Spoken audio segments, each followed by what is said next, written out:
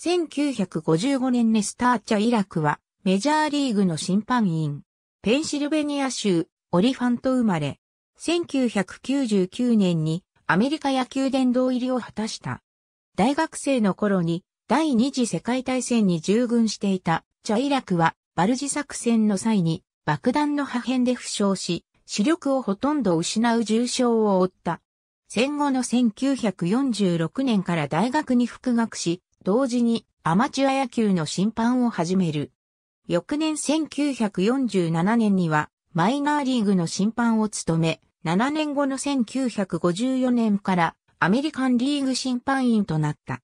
アメリカンリーグでの在職期間は25年に及んだが、日々審判としての技術向上に努めていた人だった。そうで、在職期間中の更新は全くと言っていいほどなかった。そうである。